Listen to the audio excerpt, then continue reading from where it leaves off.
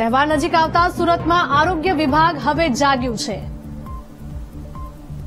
ફરસાણની દુકાનો પર ફૂડ વિભાગ દ્વારા ચેકિંગ હાથ ધરવામાં આવી રહ્યું છે. ફાફડા, જલેબીના નમૂના પણ લેવામાં આવ્યા છે. તમામને તમામને સેમ્પલ માટે પણ મોકલવામાં આવ્યા છે. ભેળસેળ અને અખાદ્ય વસ્તુઓ જણાશે તો તાત્કાલિક કાર્યવાહી પણ કરવામાં આવશે. સુરતથી સમાચાર સામે આવી રહ્યા છે. તહેવારો ધીમ- ધીમે નજીક આવી રહ્યા છે. દિવાળીનો તહેવાર પણ નજીક આવી રહ્યો છે.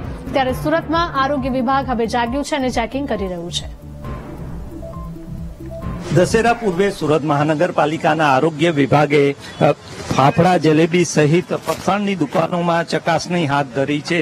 સુરત મહાનગરપાલિકાની ટીમ આજે વહેલી સવારથી જ દરેક જે ફરસાણની દુકાનો છે ત્યાં પહોંચી રહી છે અને ત્યાં સેમ્પલિંગની કામગીરી હાલ ચાલી રહી છે.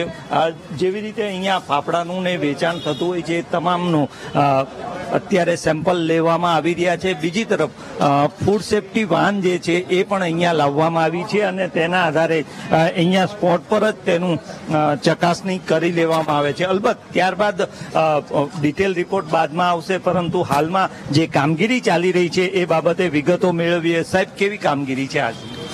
Deputy commissioner Shri health and hospital અને આરોગ્ય અધિકારી શ્રીની સૂચના અને માર્ગદર્શન હેઠળ સુરત મહાનગરપાલિકાના ફૂડ વિભાગના ફૂડ સેફ્ટી ઓફિસર આગામી દશેરા તહેવાર નિમિત્તે ફાફડા અને જલેબીનું વેચાણ વધુ પ્રમાણમાં થતું હોય છે. એટલે અલગ અલગ સાત ટીમ બનાવીને અલગ અલગ જગ્યાએ તપાસણી કરવામાં આવી રહેલી છે. તેમજ સ્પોર્ટ્સ પર પણ અમે ફૂડ સેફ્ટી વેન મંગાવેલી છે અને એ પણ અહીંયા નમૂના લે છે તપાસણી કરી રહી છે. અને એમાં કંઈ ખામી જણાશે તો સ્થળ પર જ એમને નોટિસ તેમજ દંડની કાર્યવાહી પણ કરવામાં આવશે. માત્ર રાંદેર ઝોનમાં નહીં આખા શહેરમાં કામગીરી આખા શહેરમાં સાત ટીમ નીકળેલી છે અને અલગ અલગ જગ્યાએ કામગીરી હાલમાં ચાલુ છે.